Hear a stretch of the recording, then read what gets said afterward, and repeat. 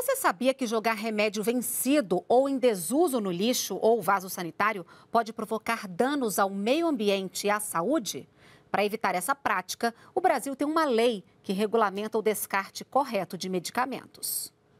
O Brasil está entre os 10 países que mais consomem medicamentos no mundo, segundo dados do Conselho Federal de Farmácia. A facilidade na aquisição de remédios e a falta de venda fracionada promove ainda mais o aumento do consumo e a perda da validade, o que contribui para o descarte incorreto do produto. Joga no lixo. Descarte no vaso sanitário. Jogar medicamentos vencidos ou em desuso no lixo ou no vaso sanitário é ruim para o meio ambiente e, consequentemente, para a saúde. Isso porque o despejo incorreto provoca a contaminação do solo e das águas. Para orientar a população, desde 2020 o Brasil implementou a Política Nacional de Resíduos Sólidos, que regulamenta o descarte correto de remédios em pontos de coleta específicos. O descarte inadequado dos medicamentos, seja no lixo comum ou no vaso sanitário, ele vai acabar alcançando o meio ambiente de alguma forma. O curso hídrico,